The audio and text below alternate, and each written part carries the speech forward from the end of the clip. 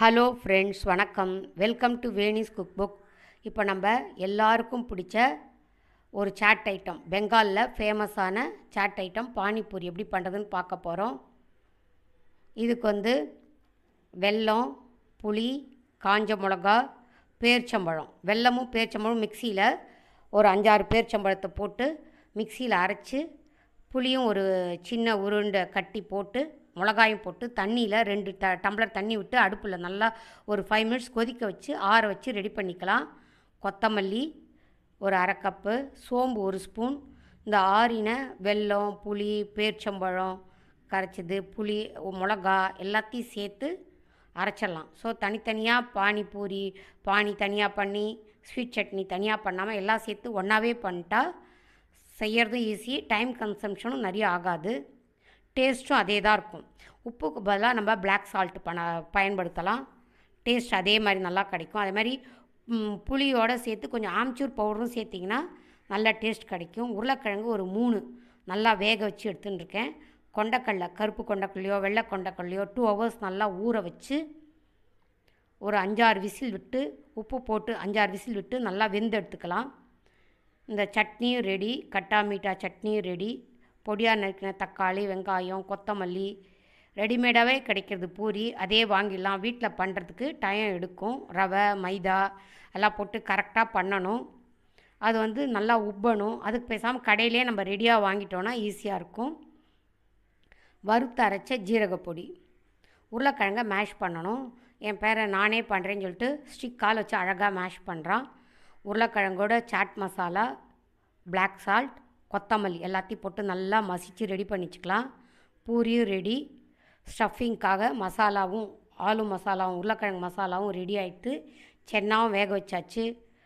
Sweet கார chutney ready ஆகிடுது இப்போது அவங்கவுங்களுக்கு ஸ்டஃப் பண்ணி கொடுக்க வேண்டியது தான் மீட்டா சட்னி தனியாக பண்ணுவேன் பானி தனியாக பண்ணுவேன் நினைக்கிறவங்க மீட்டா சட்னிக்கு ஆம்ச்சூர் பவுடர் காஞ்ச திராட்சை ஒரு கைப்பிடி பேர்ச்சம்பழம் ஒரு பத்து புளி கொஞ்சம் எல்லாத்தையும் வச்சு மிக்சியில் அரைச்சி நல்லா கொதிக்க விட்டு ரெடி பண்ணி எடுத்து வச்சுக்கலாம்.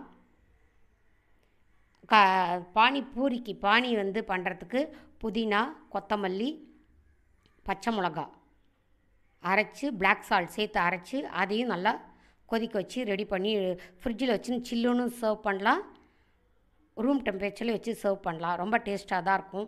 நான் ரெண்டுமே சேர்த்து ஒன்றாவே செமி சாலிடாக பண்ணிட்டேன். டைமும் நிறைய ஆகாது. டேஸ்ட்டும் அதே தான் கொடுக்கும். பிளாக் சால்ட் யூஸ் பண்ணணும். பச்சை மிளகாய் யூஸ் பண்ணணும். ஆம்ச்சூர் பவுடர் யூஸ் பண்ணணும். பண்ணால் எல்லாம் அதே டேஸ்ட் தான் வரும். சூப்பராகவும் இருக்கும். இப்போ கடைசியாக சர்வ் பண்ணுறதுக்கு பானிபூரியை பூரியை நல்லா உடச்சி சென்டரில் ஒன்று தக்காளி வெங்காயம் தக்காளி பிடிச்சா சேருங்க. எங்களுக்கு பிடிக்கும்னு சேர்த்துருக்கேன். சேர்க்கணும்னு கம்பல்சரி கிடையாது. தக்காளி வெங்காயம் மிக்சர் கூட நான் வச்சுருக்கேன். அது கூட நம்ம இஷ்டம்தான். போடுறதெல்லாம் தக்காளி வெங்காயம் ஃபஸ்ட்டு எடுத்தோன்னா ஆலு ஸ்டஃபிங் ஒரு அரை ஸ்பூன் வச்சுட்டு அதுக்கு மேலே இந்த தக்காளி வெங்காயம் பொடியாக நறுக்கினது. அப்புறம் இது வந்து ஜீரகத்தூள் வறுத்து பொடித்த ஜீரகத்தூள். நல்ல டேஸ்ட் கொடுக்கும். வாசனையும் நல்லாயிருக்கும் இதையும் மேலே ஸ்ப்ரெட் பண்ணிவிட்டு சென்னாவும் போட்டுட்டு வேக வச்ச சென்னாவும் போட்டுட்டு சாட் மசாலாவும் மேலே தூவுறேன். ஏற்கனவே உருளைக்கிழங்குலேயும் ஸ்டஃபிங்லேயும் போட்டிருக்கேன் சாட் மசாலா. இதுலேயும் கொஞ்சம் மேலே போடலாம். ஃப்ளேவர் நல்லாயிருக்கும் டேஸ்ட்டும் நல்லாயிருக்கும் மிக்சர் கொஞ்சம். அது ஆப்ஷனல் தான். உங்களுக்கு பிடிச்சா சேருங்க.